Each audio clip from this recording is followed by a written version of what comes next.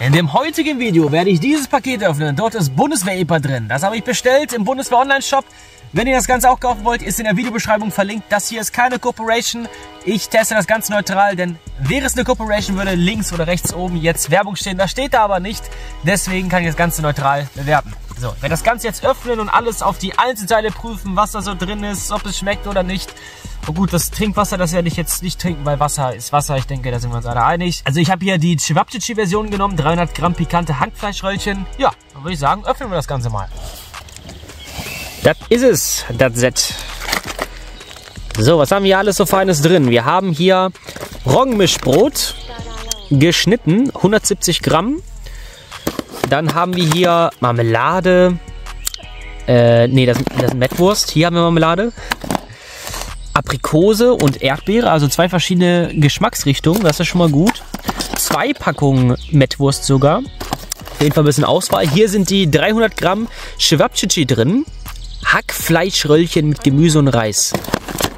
Dann haben wir hier dreimal Trinkwasser verpackt, 100 Milliliter, das heißt 300 Milliliter. Würde schon mal für einen Tag nicht reichen. Dann haben wir hier die Hartkekse drin, Panzerplatten. Klassiker ist in jedem EPA-Set drin, zumindest von der Bundeswehr. Und dann haben wir hier noch Schokolade. Die wird wahrscheinlich auch ziemlich hart sein von der Bundeswehr.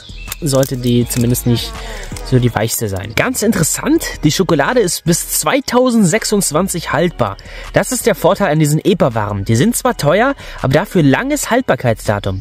Also wenn man das auf der einen Tour nicht verbrauchen kann, dann halt auf der nächsten. Und diese Chwapchichi, die Hauptnahrung, bis 24.01.2026. Das ist auch noch ziemlich lange hin.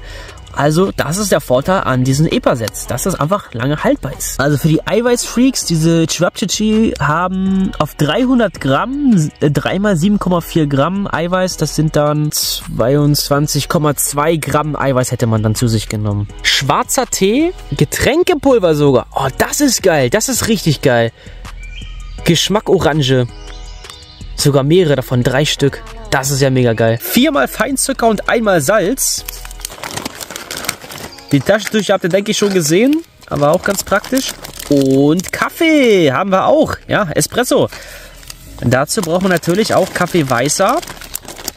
Also wir haben zweimal hier Espresso. Und ja, wir haben auch zweimal Kaffeeweißer. Dann noch heiße Brühe. Ah, Streichhölzer. Doch, tatsächlich. Wir können Feuer machen. Ja, also für Teetrinker was dabei und für Kaffeetrinker auch. Das ist gut. Bevor ich gleich die Chwapchichi mache, werde ich erstmal diese Hartkekse probieren. Das wird ganz interessant sein.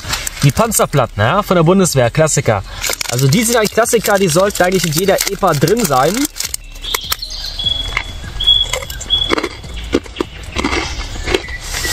Ich muss sagen, die schmecken gut. Die sind auch wirklich ein bisschen hart.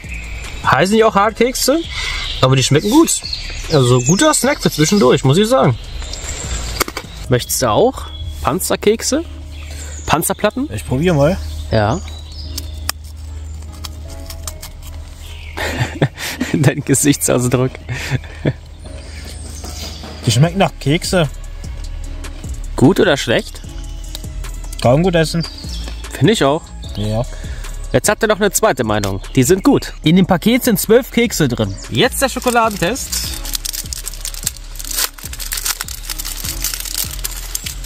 Zehn Stückchen.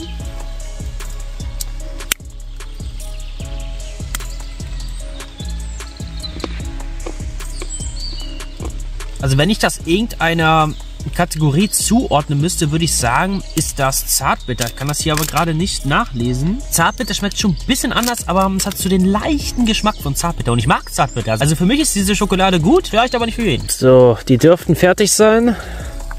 Die Stöcker kokeln nur ein bisschen, aber die brennen nicht.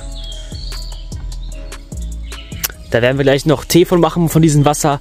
Jetzt müssen wir erstmal diese Chwapchichi da rausholen. Die wird sehr heiß sein, diese EPA-Schale. Wie gesagt, Wasser muss drin bleiben.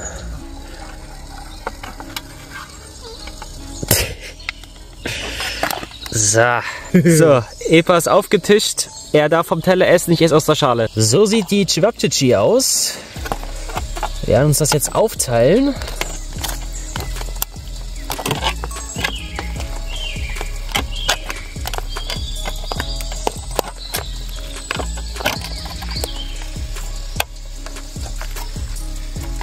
So, das ist für dich. Dankeschön. Bitteschön. Und ich esse aus der Schale. Bevor das Spiritus erlischt, mache ich schon mal den Schwarztee hier rein. Leider nur ein Beutel. Aber besser als nichts. Nur ein Beutel Schwarztee? Für so für zwei Tassen? Das ist voll wenig. Ja, tatsächlich. Also für zwei Personen ist das Essen eigentlich nicht. Das ist für eine Person, weil wir teilen uns das jetzt einfach auf, damit beides probieren können. Ansonsten zu zweit kann man davon leider nicht satt werden. Aber es ist mega lecker. Von daher. Alles gut. Ich würde sogar sagen, beste Epa, den ich bisher gegessen habe. Würde ich mich vielleicht anschließen. Ich habe auch schon so einige aus dem Kaufhaus probiert. Aber das hier ist wirklich 1A. Und halt einfach zuzubereiten, ne? Und lange Haltbarkeit, deswegen super essen. So, der Schwarztee wird jetzt von uns beiden getrunken aus dem Kochtopf. Wobei der vielleicht noch so ein bisschen heiß sein könnte. Willst du anfangen? Ich überlasse dir den Vortritt.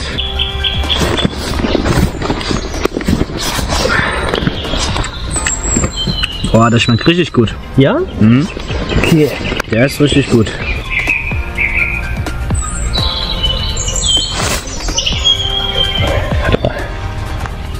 So.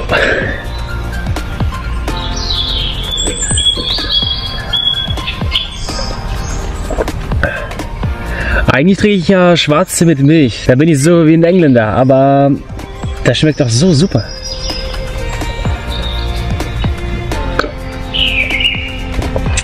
Der ist wirklich herrlich, muss ich sagen.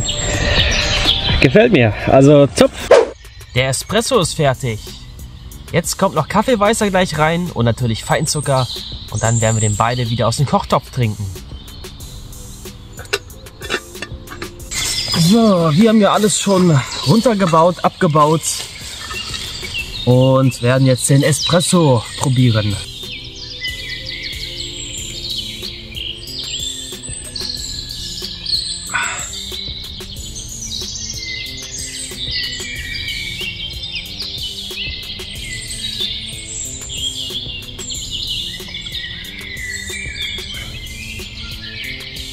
Ja, schmeckt, schmeckt in Ordnung. Würde jetzt keine 10 von 10 dafür geben, aber schmeckt ganz gut. Ist was Gutes zum Frühstück. Mal gucken, was er sagt. Ah, Ich weiß nicht, ob man dich im Bild sieht.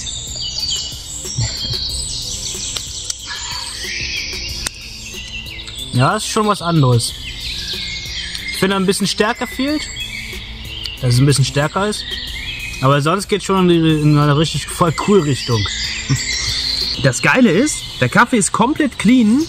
Da sind jetzt nicht irgendwelche schwarzen kleinen Kaffeepulverbröckchen oder so. Also da ist Kaffeepulver tatsächlich schon im Autobereich klar im Vorteil, muss man sagen. Aber manchmal ist das so, dass du dann, wenn du Kaffeepads nimmst und dann Kaffee machst, dass dann unten so ein kleiner Belag noch übrig bleibt und der schmeckt dann richtig widerlich. Und den musst du dann auch noch waschen und so und da musst du auch den Kochtopf sauber machen davon. Das ist nervig. Aber so ist perfekt. Ja, somit haben wir auch das probiert. Das orange Getränkepulver möchte ich mir noch für die nächste Tour aufsparen. Das wird bestimmt mega lecker werden. Werde ich ja heute nicht mehr trinken, nicht mehr probieren. Aber dann auf der nächsten Tour, aber in diesem Video. Ich mache gerade eine Fahrradtour von Celle nach Wolfsburg und bin jetzt hier gerade in Gifhorn. Es ist windig am Mühlensee. Ein schöner See. Ich mache hier gerade eine Pause und mein Getränk ist leer gegangen. Jetzt werde ich das Ganze mit dem EPA-Trinkwasser nachfüllen und das Orangengetränkepulver ausprobieren, wie das so schmeckt. Ist auch das letzte, was ich jetzt zum Trinken noch dabei habe. Ich bin gespannt. Wenn ihr die Radtour sehen wollt, dann wisst ihr, was ihr machen müsst. Den Kanal abonnieren, denn das wird nämlich als nächstes Video kommen.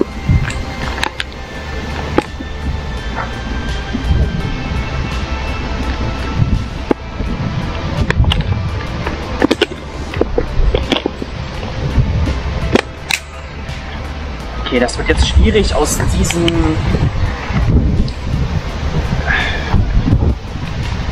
Wird jetzt schwierig, aus diesem Zeug hier das Wasser da reinzubekommen, ohne es zu verschütten. Aber klappt noch so. Mein Bein ist ein bisschen nass geworden, aber egal. Das tut gut bei diesem heißen Wetter, wenn da mal was nass wird. Okay. Überleben können wir damit nicht in der Hitze. Das ist viel zu wenig.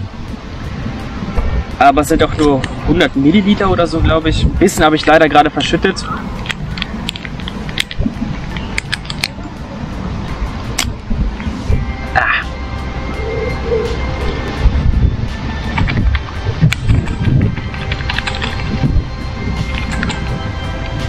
Das Getränkepulver soll übrigens für 200 Milliliter reichen. Ich mache ja alles rein. So. Schön schütteln. Oh Gott. Ach ja, ich habe die Kappe abgemacht. Scheiße. Ich kann das nicht so gut schütteln.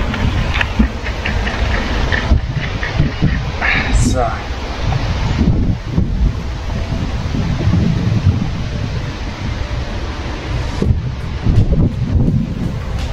Das schmeckt echt seltsam. Das ist doch noch nicht richtig durchgeschüttelt oder was?